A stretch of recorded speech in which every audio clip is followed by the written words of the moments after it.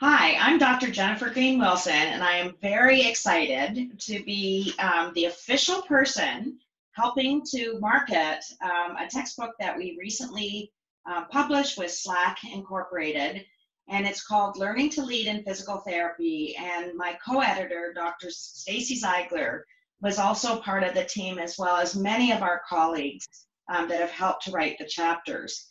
And um, the subject, as the title says, it's about learning to lead in physical therapy.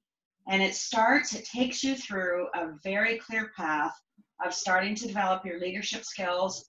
Um, the first person that you lead is you. And then you progress into your roles, how you lead others and influence others through effective teamwork.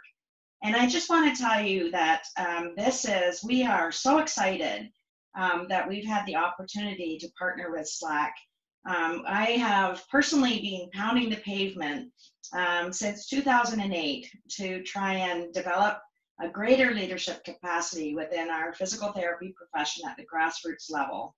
And I believe that uh, within physical therapy, we have IQ and EQ, and we have tremendous capacity to help lead the transformational change that we need in healthcare and what we need to do to transform society.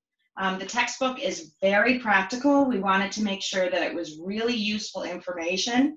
It's practical for students. It's practical for faculty who are instructing this course content.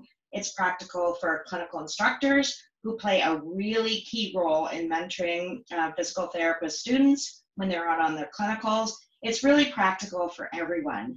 And so it's learning to lead in physical therapy at all levels of clinical practice we put in a lot of practical tools, a lot of resources, a lot of ahas, and we even, even included some vignettes, real stories from our colleagues who have experienced and developed their own leadership skills over time. So we really hope that you will look at the book and adopt the book for all of your classroom experiences.